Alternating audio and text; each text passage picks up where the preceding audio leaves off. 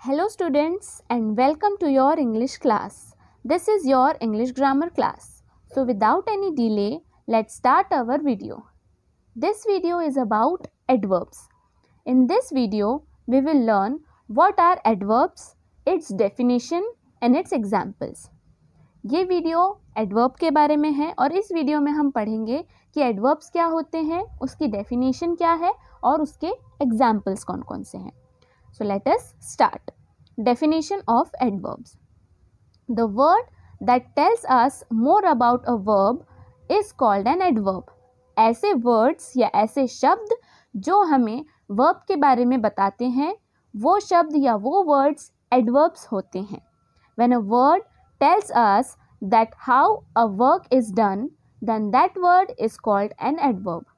जब हमें कोई वर्ड ये बताता है कि कोई भी काम किस तरह से या किस तरीके से हुआ है वो वर्ड्स कहलाते हैं adverbs let's see is examples the sun shines brightly the girl sings sweetly the boy walks quickly first sentence is the sun shines brightly. In this sentence, the word brightly tells us that how the sun shines. इस sentence में जो word है brightly वो हमें बताता है कि सन किस तरह से शाइन कर रहा है।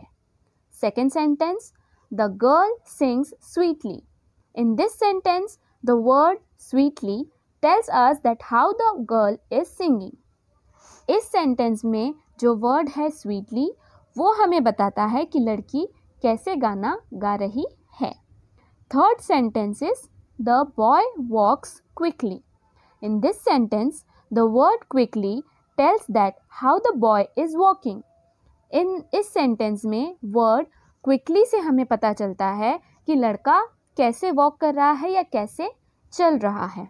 Here the words brightly sweetly and quickly tells us that how the work is done यहाँ पे जो वर्ड्स यूज़ किए हैं जैसे ब्राइटली स्वीटली और क्विकली हमें बताते हैं कि जो भी काम वो हमें दर्शाना चाह रहे हैं, जो बताना चाह रहे हैं, वो किस तरीके से हुआ है। So that's it students I hope कि आप सभी को एडवर्ब्स अच्छे से समझ में आए होंगे। तो we will now meet in our next video till then have fun and be safe and don't forget to study thank you